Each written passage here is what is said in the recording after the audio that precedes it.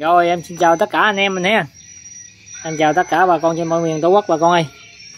Em lên tiếp tục cho bà con một con máy Kubota E7 Kubota E7 Một cái dòng máy mà nó nổi tiếng từ thời hồi lúc mà em còn nhỏ xíu luôn. Cái thời mà em nói bà con đừng có cười, chứ cái thời em còn nằm ở dưới đầu gối là nó đã nổi tiếng rồi Kubota Nó chưa lên tới trên nữa là em nói nổi tiếng rồi đặc điểm của máy thì nó chùi lũi nói chung là nhìn bề ngoài thì vô cùng xấu. Nhưng mà nó được có một cái là siêu bền. Anh em Kubota thì nào giờ anh em biết nó ha. Hầu như là nó đứng đầu bảng bên máy dầu nha anh em. Tới nữa là NF ba là Mitsu. Rồi em lên cho anh em là nó trụ lũi về đây. Là cái này Kubota E7 nước xanh còn xanh dờn luôn. Chụp E thì đen thui ngoại hình thì trên lóc nó hơi chốc chốc này tí xíu anh em. Chốc chốc tăng đưa này ngủ chị. Thằng đưa con chế á. Hà tăng đưa con chế hả? Không ngờ con chế đẹp dữ đi luôn đó hả? Rồi để em quay dung nhan nó thôi bị thời gian nó cũng tối quá rồi. Cái này ti thâm nhất nó con kiểm tra nhất chưa? Thôi đợi chú tí xíu vô ra liền phương ơi. Con à, nãy con cứ coi theo cái đó đi cái bộ cần lắp của con là 780 cái cái cái cái, cái cản cỏ là 95 ngàn. Cái dĩa 60 tấn con 50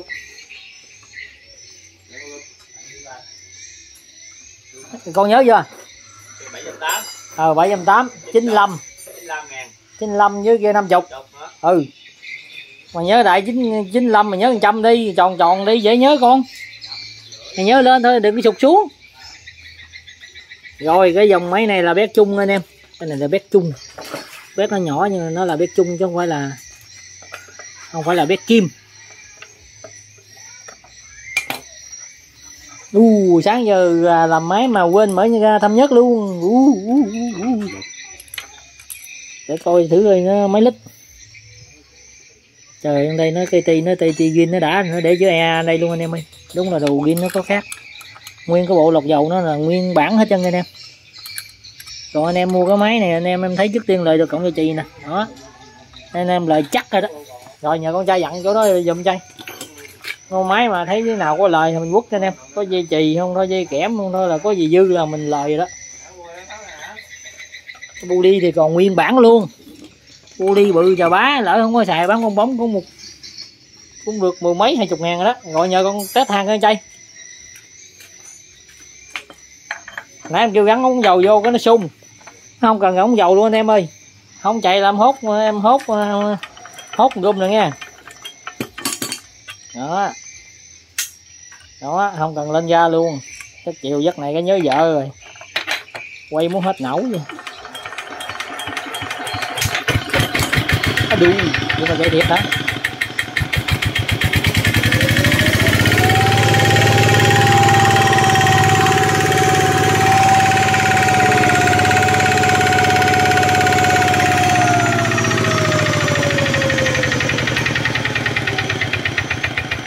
quá đã anh em ơi. U dữ. Thằng này xấu quắc làm mấy chạy ngon chơi em không ngờ gum nó làm được gì luôn anh em. Nội ơi, đúng là ta thiệt rồi quá đã. Đó. Không ngờ luôn, bữa nay chú ngạc nhiên với con luôn rồi đó. Đủ yêu mời để tối nay chú điện cho vợ con thưởng cho con hai cái. Chắc mời chắc mời nó nghỉ làm bữa đúng không anh em ơi. Nó nghỉ ngày, nghe nói hai đâu đêm trước gì giờ vợ nó thưởng, nó lần rồi giờ nuôi sáng nó ra làm không nổi. Thôi có gì tối nay gì đừng vô thưởng nha quên. Làm gì làm thôi, đừng thưởng.